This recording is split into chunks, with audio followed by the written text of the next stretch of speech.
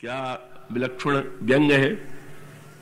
श्री राम किसकी सुंदरता को देख करके आकृष्ट होते? आप मिला करके देखिएगा, मैं आशा करता हूँ कि आप एकाग्र मन से सुन रहे होंगे। का सूरपणखा के कारण सीता जी का हरण हुआ। और सूरपणखा के कारण जब सीता जी का हरण हुआ तो भगवान राम सीता जी को ढूँढने के लिए, उनका पता लगाने के लिए शबरी जी के यहाँ गए। सूरपणखा भगवान राम सीता को दूर करती और शबरी भगवान राम सीता को मिलाती। सूरपणखा देहनगर की निवासिनी है, भोगवादी है, वासना को उच्छृंखल छोड़ दिया है और अपने को सुंदर बना करके आई हुई। और ये शबरी जी, बूढ़ी शबरी, जिनका शरीर अत्यंत जीर्ण शीर्ण हो रहा है, और वो शबरी श्री राम के आगमन की प्रतीक्षा कर रही। और एक दिन भगवान श्री राघवेंद्र वहाँ आए। और भगवान राम ने सबरी जी को जिन शब्दों में संबोधित किया, वो पढ़ करके आश्चर्य हुए बिना नहीं रहता। क्या? भगवान राम कह सकते थे कि, भक्तिमती सबरी, बताओ सीता जी कैसे मिलेंगी या कहाँ मिलेंगी? पर भगवान राम ने जो विशेषण लगाए, उनके साथ जो शब्द लगाए, जरा उस पर तो ध्यान दीजिए। भगवान राम कहते जनक सुता कह सुधि भामिनी, जानहु कहु करिवर गामिनी हे भामिनी सबरी, हे करिवर गामिनी गजगामिनी सबरी, तुम क्या सीता जी का पता जानती हो? कैसा विचित्र शब्द है। साहित्य में किसी युवती के लिए, सुंदरी के लिए गजगामिनी कहा जाए, ये परंपरा। लेकिन बूढ़ी सबरी से ये कहना कि तुम भामिनी हो और गजगामिनी हो भगवान जैसा साहित्यिक और ऐसी बात करे। कैसा जिसको साहित्य का ज्ञान होगा क्या वो किसी वृद्ध महिला के लिए इन शब्दों का प्रयोग करेगा क्या? पर इसमें जो निहित व्यंग है, वो ये है कि यही दोनों शब्द श्री राम के मुँह से सूरपणखा सुनना चाहती थी। लेकिन श्री राम ने सूरपणखा की ओर दृष्टि उठा के भी नहीं देखा। और शबरी जी से भगवान राम ने कहा, मानो भगवान राम का तात्पर्य क्या है? शबरी में भगवान राम को जो सुंदरता दिखाई देती है, वो सुंदरता भगवान राम मानते हैं। शबरी जी के समान सुंदर कोई नहीं। क्योंकि शबरी जी की सुंदरता, भगवान राम की सुंदरता की दृष्टि क्या है? रामायण में सुंदरता की परिभाषा करते, के करते हुए कहा गया, सोई पावन, सोई सुभग शरीरा, जो तन पाई भजिय रघुबीरा जिस शरीर के द्वारा भक्ति हो, भगवान का भजन हो, वही सुंदर शरीर है। भगवान राम का तात्पर्य था कि शबरी तुम में भक्ति का सौंदर्य है, भावना का सौंदर्य है। मुझे तो ऐसा लगता है कि तुम गजगामिनी हो। गजगामिनी माने?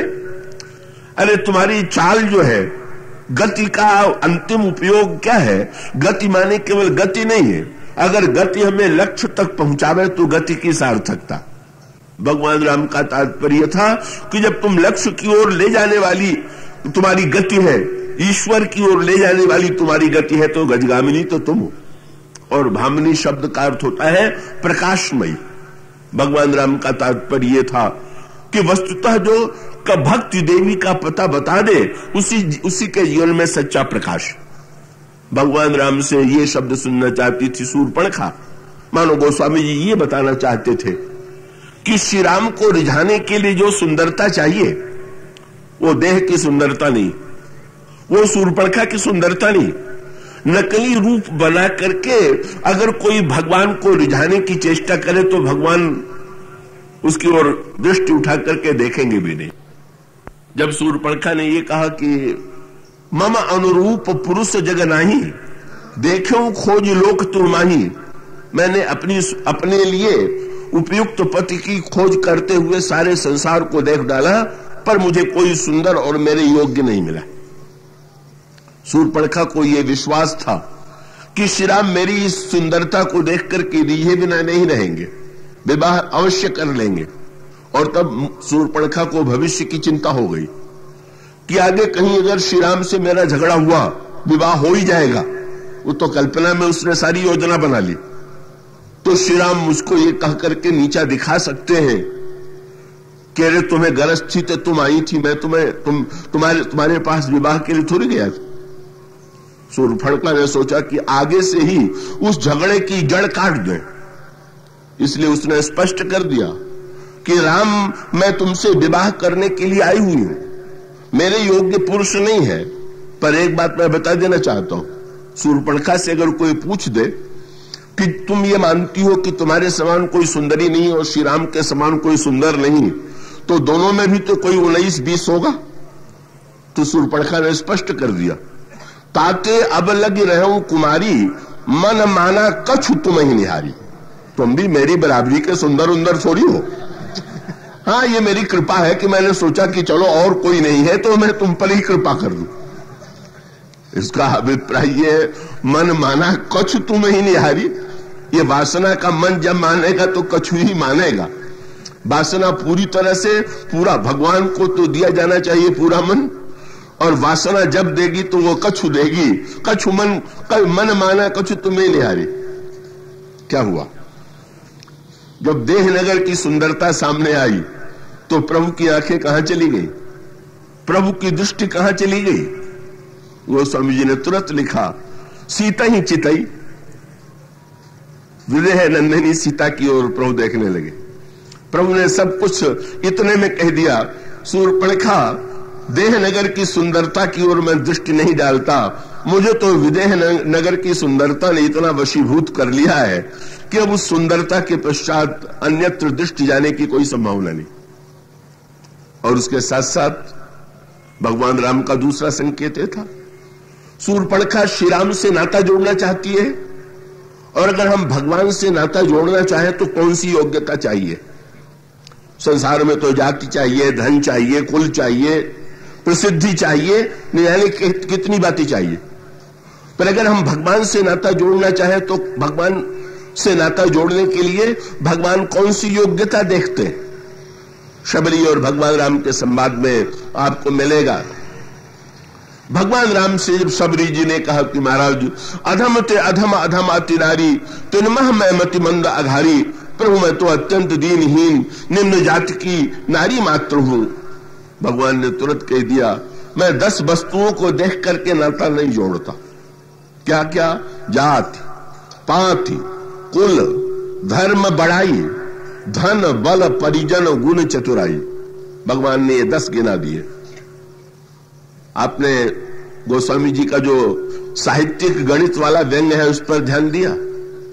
भगवान राम ने कहा, शबरी दस का चक्कर मैं नहीं मानता। दस छोड़ो नवधा भगत कहूँ तो पाई। मैं तो तुम्हें नवधा भक्त सुना रहा हूँ। आप किसी से कहिए कि दस रुपया छोड़ो, नौ रुपया लो तो सामने वाला कहेगा कि मैं क्यों घाटा उठाऊं? भगवान कहते हैं, दस छोड़ो और नौ लो।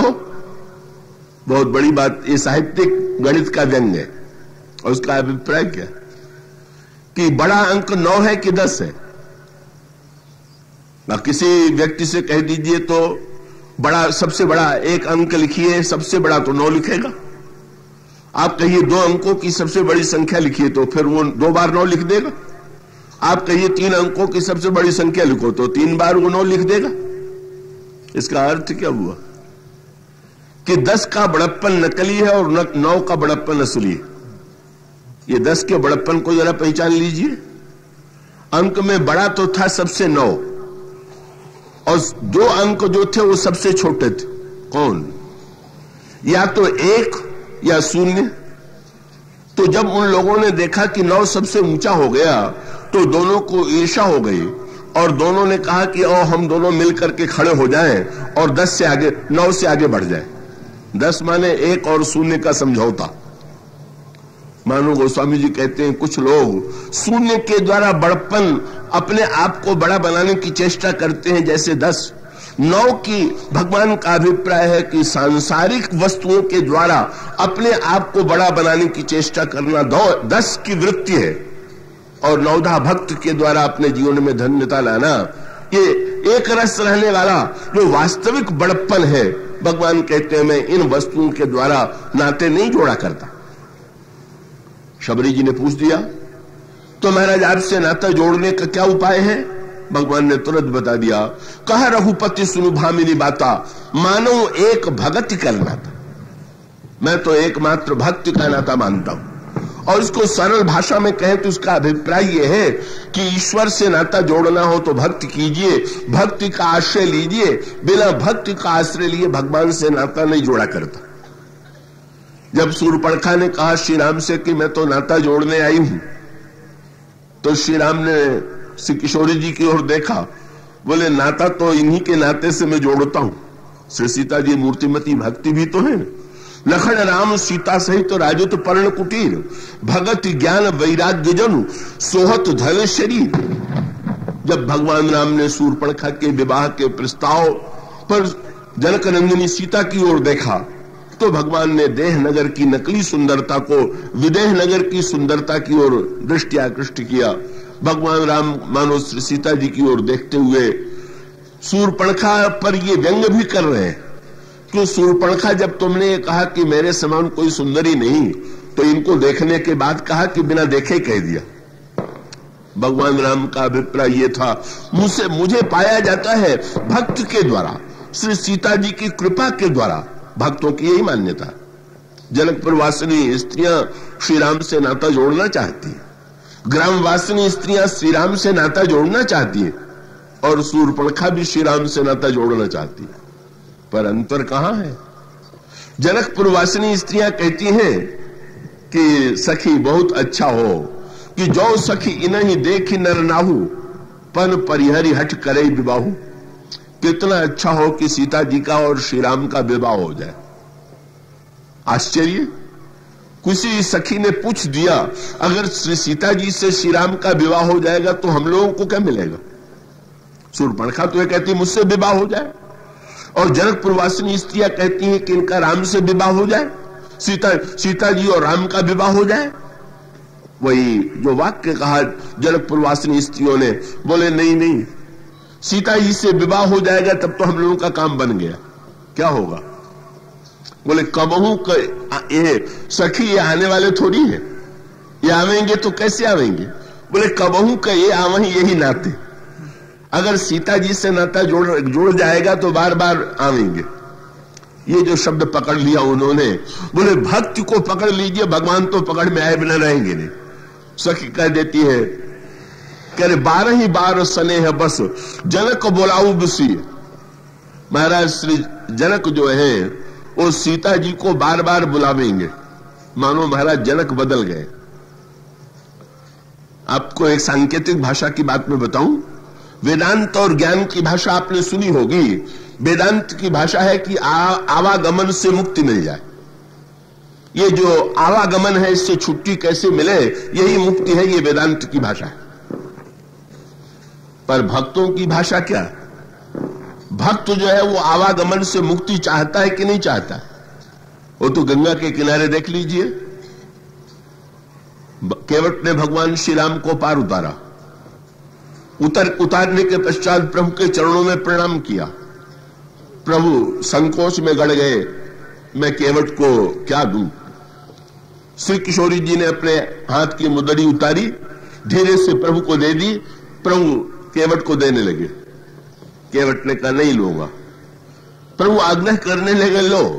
तो केवट ने एक बात कह दिया, बोले अच्छा अगर आप देने के लिए इतने व्यग्र हैं तो फिरती बेर नाथ जो देबा, सो प्रसाद में सिर धर लेबा। लौटती समय आप जो देंगे, मैं ले लूँगा। बड़ा आश्चर्य है। भगवान व्यापार करने जा रहे होते, और कोई कहता है कि अच्छा लौटिएगा तो दे दीजिएगा। तो कोई बात है? भगवान वन में जा रहे हैं केवट कहता अभी नहीं लौटने के बाद? क्यों कह रहा है? केवट ने बड़ी मीठी बात भगवान से कही। क्या? केवट से भगवान ने कहा कि केवट मैं भी उत, पार उतारने वाला केवट और तुम भी पार उतारने वाले केवट। हमें तुम्हें कोई अंतर है कि नहीं? केवट ने कहा कि महाराज एक बहुत बड़ा अंतर है। क्या? केवट ने जब ये कहा कि लौटती समय जो देंगे तो केवट का अभिप्राय है कि प्रभु, आप तो जब प्रसन्न होते हैं तो आवागमन से मुक्त कर देते हैं। पर मैं तो ये चाहता हूँ कि आपका आवागमन बना ही रहे। आप यहाँ से जाएँ और फिर इधर से ही लौट के आवे। हमें मुक्ति नहीं चाहिए। न हम मुक्त होना चाहते हैं न आपको मुक्त करना चाहते। हैं ये जो गौतम जैसे ज्ञानी महात्मा हो, उन्हीं को गति और मुक्ति बांटिए। यहाँ तो महाराज आवागमन का नाता। भक्तों की भाषा है। भक्त कहता है, मैं बार बार जन्म लू। और भक्त प्रार्थना करता है, प्रभु, अगर आपको मुझसे इतना प्रेम है तो आप भी फिर से आइए। बार बार आइए। भक्त, भक्तों के लिए भगवान इतने जो अवतार लेते हैं, इसका अभिप्राय है कि भक्त को आवागमन की, से मुक्ति की चिंता नहीं। इसीलिए केवट कहता है, मेरी नाव को आप मुक्ति मत दीजिए। मेरी नाव को ऐसी बनी रहने दीजिए कि आप फिर आवे। फिर आपको पार उतारे। सो भगवान श्री राघवेंद्र ने सचमुच लंका विजय के पश्चात जब लौटे तो विमान पर बैठे हुए थे। लेकिन जो ही केवट के गाँव के निकट पहुँचे, प्रभु ने विमान को नीचे उतार दिया। केवट को प्रभु ने कस करके हृदय से लगा लिया। केवट ने कहा, प्रभु, जाते समय मैंने आपसे बड़ा नटखट व्यवहार किया था। लगता है इसीलिए इस बार आप विमान पर जा रहे हैं, मेरी नौका पर नहीं बैठ रहे प्रभु ने हृदय से लगा करके कहा, केवट, ये बात नहीं। एक बार तुम्हें पार उतार दिया, उसी की उतराई नहीं दे पाया। फिर से उतार दोगे तो क्या दूँगा? इसलिए भैया, मैं तो अपनी असमर्थता के कारण नाव पर नहीं बैठ रहा हूँ, पर मित्र तुम्हें निमंत्रण देता हूँ। राज्याभिषेक में तुम अवश्य आना। केवट गया? जब विदाई का दिन आया तो भगवान राम ने केवट को अपना वस्त्र पहना दिया, अपने आभूषण दे दिए और बड़ी मीठी भाषा में प्रभु ने केवट के वाक्य का उत्तर दिया। बोले, तब कृपालु लिए बोली निषादा दीने भूषण बसन प्रसादा। अब जरा एक संकेत पर ध्यान दीजिए। भगवान पहले गए थे केवट के धाम में और अब केवट आया हुआ है भगवान के धाम में। तो भाई भगवान के धाम का फल क्या है? वही आवागमन से मुक्ति। यद गत्वान निवर्तनते तद्धाम परम पर आज भगवान बदले हुए। केवट ने जब हृदय से लगाया तो केवट ने कहा कि महाराज, का आपके यहाँ अब आप विदा कर रहे हैं? तो प्रभु ने कहा, विदा तो कर ही रहे तब भगवान ने अगला वाक्य कह दिया तब कृपालुलिय बोली निषादा दीने वो भूषण बसन प्रसादा। और धीरे से कह दिया तुम प्रिय मोही भरत जी में भ्राता और सदा रहो पुरावत जाता। भाई हमारा तुम्हारा नाता तो आने जाने वाला है। तुम भी ये चाहते हो कि मैं आता जाता रहूँ और मैं भी ये चाहता हूँ कि तुम आता आते जाते रहो। ज्ञान का नाता मुक्ति का नाता है पर भग, भगवान के भक्ति का जो नाता है उसमें भगवान भक्त के पास कभी आते हैं, कभी भक्त भगवान के पास चला जाता है, ये अनोखा है। जनकपुर की सखी ये कहती है कि महाराज जनक, अब आवागमन के प्रेमी हो गए। क्यों? बोले, विवाह करने के पश्चात फिर बिना क्या श्री राम को बुलाए श्री राम को तो भले ही न बुलावे, पर सीता जी को बुलाए तो बिना नहीं रहेंगे। श्री सीता जी भक्त हैं, उनको बुलावेंगे। और बुलावेंगे तो क्या होगा? बोले, बारह ही बारह स्नेह बस, जनक बुलाऊ बसी और लेन आई है बंधु दो। जब जब महाराज जनक सीता जी को बुलावेंगे तो लेने के लिए दोनों भाई ज़रूर आवेंगे। एक सखी ने पूछ दिया कि ऐसे तुम कैसे समझती हो कि लेने के लिए दोनों भाई आवेंगे? सो सखी ने कह दिया, कि अरे, तुमने देखा नहीं कि विवाह के पहले महाराज जनक ने निमंत्रण पत्र नहीं भेजा। पर सीता जी से इतना प्रेम है कि दोनों भाई लेने आ गए। तो जब बिना विवाह के, बिना निमंत्रण के चले आए तो क्या बुलाने पर नहीं आवेंगे क्या? नहीं नहीं, घबराओ नहीं। का, ये तो उसका सांकेतिक अभिप्राय है कि भक्ति देवी को पकड़ लीजिए तो ज्ञान और वैराग्य जो है अपने आप चले आवेंगे प्रभु जो है अखंड ज्ञान है, लक्ष्मण जी मूर्तिमान वैराग्य है, जीवन में वैराग्य और ज्ञान को बुलाने की आवश्यकता नहीं है, आवश्यकता है भक्ति को ही जीवन में प्राप्त कर लेने की। और इस प्रकार से जनकपुर वासिनी स्त्रियों ने श्री राम से नाता जोड़ लिया श्री राम को पा लिया। ग्रामवासिनी स्त्रियों ने भी श्री सीता जी से नाता जोड़ा।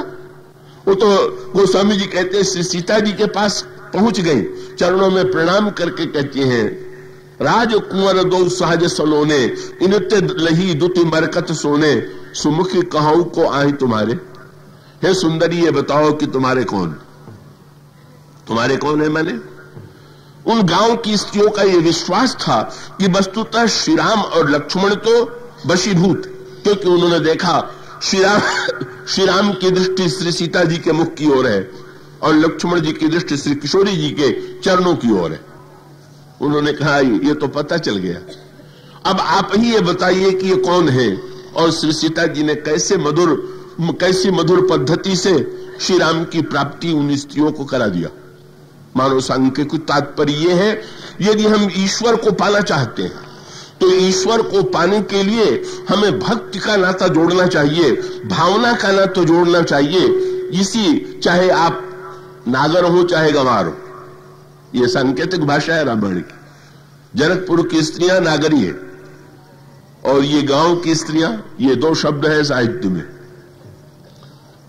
एक है नागर और दूसरा है गंवार। और इन दोनों शब्दों का मूल क्या है?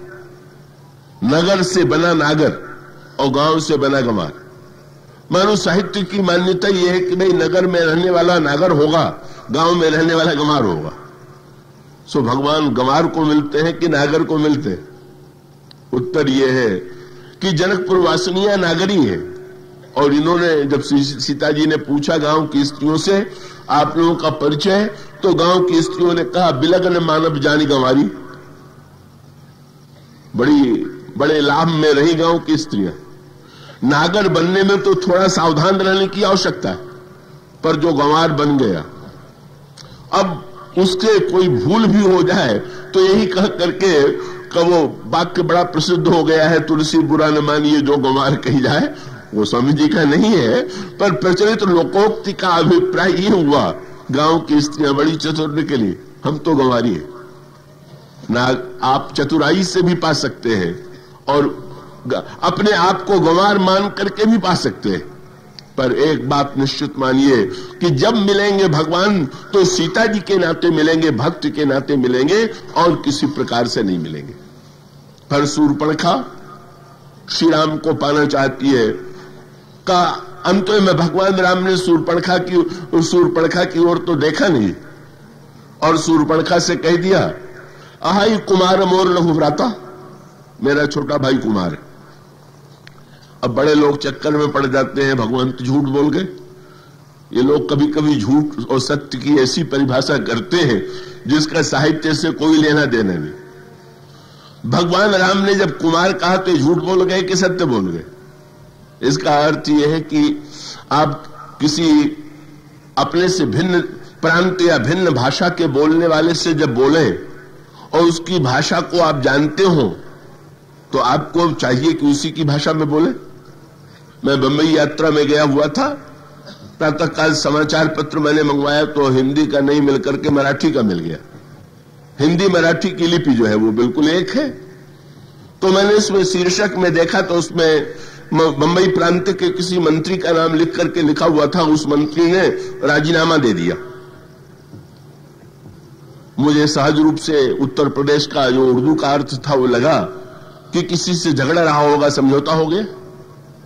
थोड़ी देर बाद हिंदी पत्र आया और हिंदी पत्र आया तो उसमें लिखा हुआ था कि उस मंत्री ने त्याग पत्र दे दिया। तब मुझे पता चला कि उर्दू में भले ही राजीनामा समझौते का नाम हो, पर मराठी में तो राजीनामा माने त्याग पत्र होता। सो भगवान राम ने सूरपणखा से, लंका सूरपणखा ने जब ये कहा कि ताते अब अलग रहे कुमारी, सूरपणखा कुमारी नहीं थी, विवाह हो चुका था, पति की मृत्यु हो चुकी थी। पर भगवान राम से कहती है कि मैं अब तक कुमारी हूँ।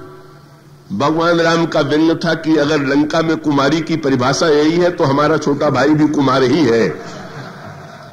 अगर यही परिभाषा हो तो इनकी पत्नी नहीं दिखाई दे रही तो ये कुमार तुम्हारे पति नहीं दिखाई दे रहे तो तुम कुमारी। प्रभु ने व्यंग भरी भाषा में ये तो साहित्यिक व्यंग है। इसमें आप वो सत्य कहाँ ढूंढ रहे हैं कि भगवान राम झूठ बोल गए? और आध्यात्मिक अर्थों में, वासना कहती है, मैं कुमारी भगवान कहते हैं, वैराग्य कुमार है। वासना नकली कुमारी है, पर वैराग्य तो वस्तुतः कुमार है। और उसका अभिप्राय कुमार वही तो है जिसका राग कहीं नहीं तो लक्ष्मण जी तो वैराग्य के रूप में भगवान ने कहा अच्छा देह नगर की सूरपणखा आई हुई है। और लक्ष्मण जी कौन है? कि भी विदेह नगर वाले हैं। अयोध्या में जन्म हुआ, अयोध्या भी स्वयं दशरथ नगर तो है ही है, पर लक्ष्मण जी तो विदेह नगर के क्यों? लक्ष्मण जी का परिचय देते हुए रामायण में कहा गया, राम बिलो की बंधु कर जोरे देह गेह सब सन तृण तोरे। देह से ऊपर उठे, देह में बैठी हुई सूरपणखा और देह से ऊपर उठे हुए लक्ष्मण। सूरपणखा चली गई तुरंत, लक्ष्मण जी के सामने। लक्ष्मण जी ने देखा सूरपणखा ने आकर के कहा कि तुम्हारे भाई ने मुझे बताया है कि तुम कुमार हो। मैं विवाह करने के लिए तुमसे उत्सुक हूँ, तुम मुझसे विवाह करो। लक्ष्मण जी ने भी बहुत बढ़िया उपाय किया। भगवान राम तो जनक नंदिनी सीता की ओर देखने लगे जब सूर्यपणखा आई। और जब सूर्यपणखा लक्ष्मण जी के सामने गई तो लक्ष्मण जी ने भी सूर्यपणखा की ओर देखा नहीं। गई लक्ष्मण रिपु भगनी जानी। प्रभु बिलोक श्री राम की ओर देखने लगे।